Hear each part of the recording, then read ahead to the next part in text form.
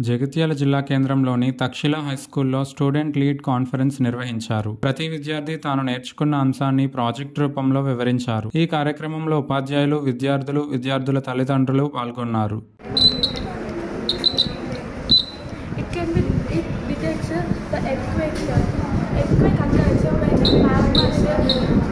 Has the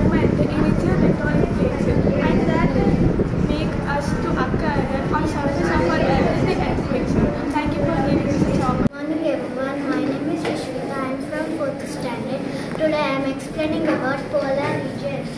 The, the Arctic and Antarctic are the northernmost and southernmost regions respectively of the Earth. They are also known as the polar regions.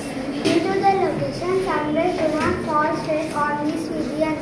Hence they are very cold and remain covered with ice for the major part of the year.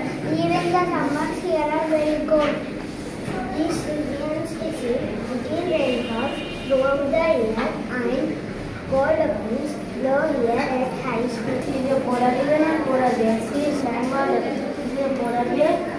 and. Good morning everyone. My name is Sriti. I am studying second class. Today our topic is processed food. Processed food that that go from the energy of the wind into the mechanical energy. The first windmill was designed in the year of 1856 by Daniel Harrod. The windmill consists of a fan-like structure erected on strong stands above it.